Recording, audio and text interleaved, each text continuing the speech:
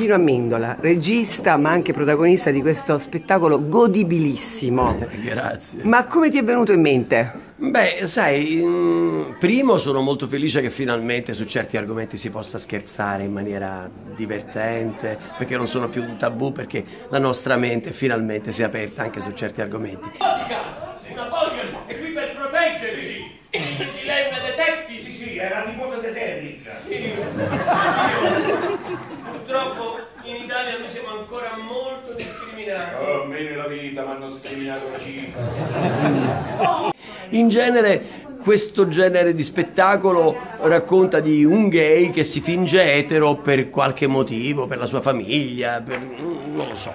E qui invece è il contrario, è un etero presunto tale che si finge gay perché ha uno zio ricchissimo che vive in America, gay, che detesta le donne e che gli ha promesso il suo patrimonio a patto che lui si sposi con un uomo. E chiaramente lo zio arriva a Natale a Roma, lui non ha assolutamente un fidanzato, ma c'ha una fidanzata che cascia via di casa e convince il suo vicino, che è un rude professore di educazione fisica romano, interpretato magistralmente da Massimo Corvo, la voce di Stallone e tante altre, e a fare il suo fidanzato.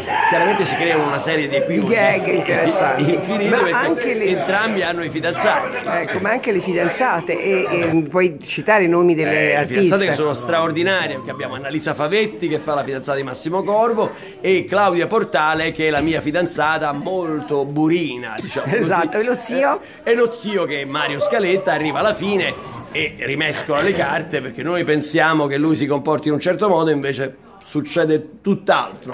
Ecco, Ecco. diciamo che dovete venire a vederlo per capire. La legge delle tre S. Shopping, shopping, shopping. Ma che significa? Che devi comprare? Compri più sei veloce, ripeto. È tutto strapieno, non c'è più posto. Esatto, Quando però- lo riprenderemo? Esattamente, questo Va è uno bene. spettacolo Eh. che ti auguro e che abbia un successo nazionale. Grazie. Ecco, a proposito di teatro, quando si sa recitare bene, eh, noi siamo di Good in Italy, Web TV che parliamo di eccellenze italiane, eh, cosa si può fare per valorizzare questo teatro? Allora, i musei sono riusciti a metterli a posto, ma il teatro? Eh, diciamo che c'è un'attenzione maggiore ai musei che non ai teatri, sicuramente. E magari sono patrimoni che in qualche senso danno un'idea di stabilità maggiore, ma io credo che un teatro sia qualcosa di, mm, di importante, ma forse di più di un, di un- di un museo che è fermo lì. Il teatro è qualcosa in movimento. Come facciamo a giudicare una città straordinaria quando ci andiamo? Diciamo, ah, è una città piena di fermento, piena di musei, ma piena di teatri, di attività culturali. Ci sono mostre, ci sono incontri, ci sono persone che suonano.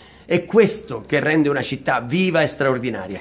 Grazie, grazie mille per Grazie a questo tuo messaggio. Buon anno. Buon anno.